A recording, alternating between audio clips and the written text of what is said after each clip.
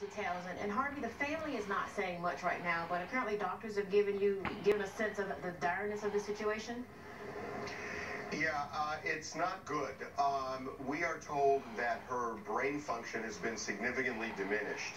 Uh, she is, like you said, in a medically induced coma on a ventilator.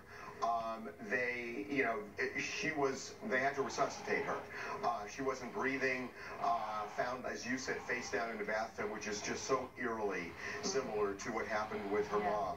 Um, but we are told that the doctors told the family it does not look good, that they should continue hoping and praying uh, they were cautioned. And here's the thing we really don't know at this time. Was it a slip and fall? Was this an accidental drug overdose? Was it a suicide attempt? Nobody really knows that at this point.